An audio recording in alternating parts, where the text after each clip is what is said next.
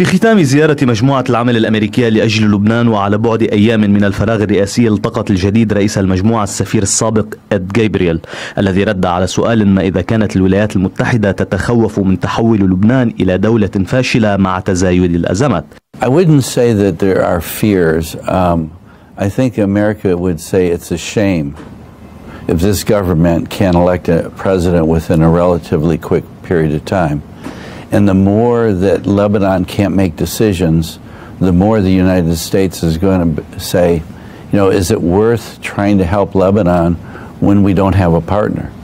So it's going to be really important to elect a president on time, and it would be a shame um, if they miss the, that opportunity.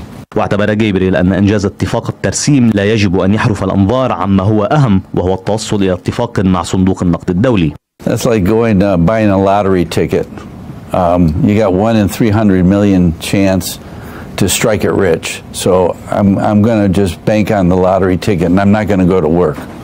If there is oil uh, in, the, in this block, they haven't done 2D seismic. They haven't done 3D seismic. They have no exploration wells. We don't know what is in these fields that they've now um, demarcated the borders on.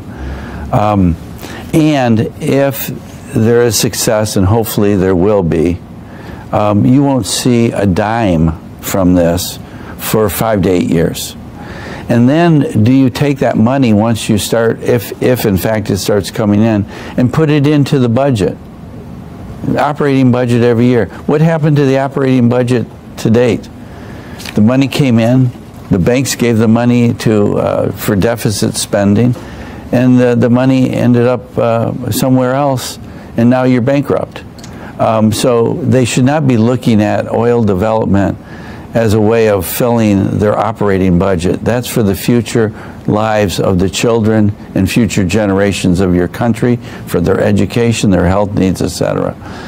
In the meantime, there's no other alternative than uh, to bring confidence to the international community by closing on an international monetary fund program. There will be debates in Parliament, and I think that's a good thing.